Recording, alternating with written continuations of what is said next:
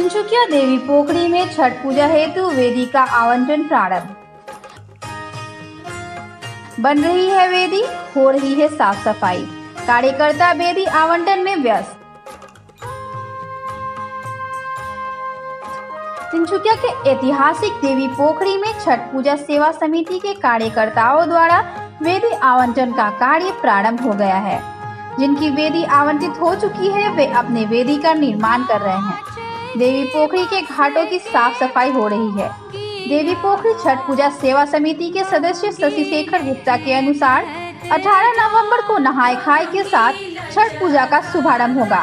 19 नवंबर को छठ व्रतधारी खरना व्रत का पालन करेंगे तथा 20 नवंबर को सूर्य को सायकालीन अर्घ्य चढ़ाएँगे एवं 21 को उगते हुए सूर्य को अर्घ्य चढ़ाकर 36 घंटे के निर्जला व्रत का समापन करेंगे।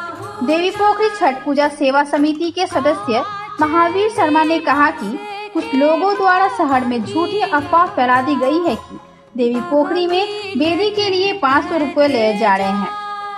हम इस अफवाह का खंडन करते हैं। देवी पोखरी में बेदी के लिए सहायता राशि के तौर पर आर्थिक रूप से सक्षम परिवार से 150 रुपए लिए जा रहे हैं। आर्थिक रूप से कमज़ोर परिवार से यह राशि नहीं ली जा रही। श्री शर्मा ने कहा कि वेदी के लिए मिट्टी समिति द्वारा मुहैया करवाई जा रही है। इसके अलावे साफ़ सफ़ाई एवं अन्य खर्च हैं, जिसके लिए सहायता राशि के तौर पर महज पाँच सौ रुपये लिए जा रहे हैं। बेदी का आवंटन ए ब्लॉक और बी ब्लॉक का आज से शुरू किया गया है। पिछले वर्ष के रिकॉर्ड के हिसाब से हमने चार्ट बना करके आवंटन शुरू किया है। सारा नियम पिछले वर्ष के भांति होगा।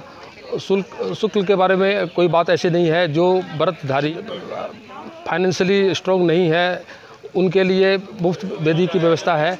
कम पैसा दे के विधि कोई लेना चाहे, उसके लिए उसके लिए भी व्यवस्था है। ऐसे हम जो खर्च के लिए 150 रुपया सहयोग राशि के रूप में निर्धारित किए हैं।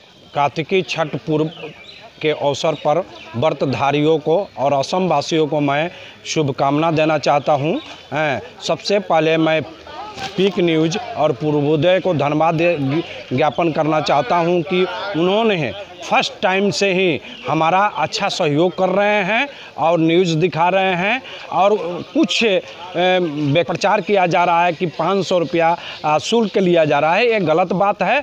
हम लोग का जो, पहले का जो शुल्क है वही लेते हैं, जो जो नियमित है वही लिया जा रहा है। सोशल डिस्टेंसिंग का पालन मस्ट है और जितने व्यक्ति को पास दिया गया है वह उनसे आग्रह है कि कृपया वो पास के द्वारा ही आएँ और प्रवेश करें। जो व्यक्ति पास जिनको नहीं रहेगा, उनको प्रवेश निषिद्ध है। देवी पोखरी छठ पूजा सेवा समिति के सदस्य कौशलेंद्र सिंह ने कहा कि वृद्धारियों हेतु पास दिए गए हैं। वृद्धारियों से अनुरोध है कि कोरोना प्रोटोकॉल का पालन करते हुए एक परिवार से पाँच से भी कम लोग आए। सभी मास्क पहन कर आए। Next report pick news Tinsukia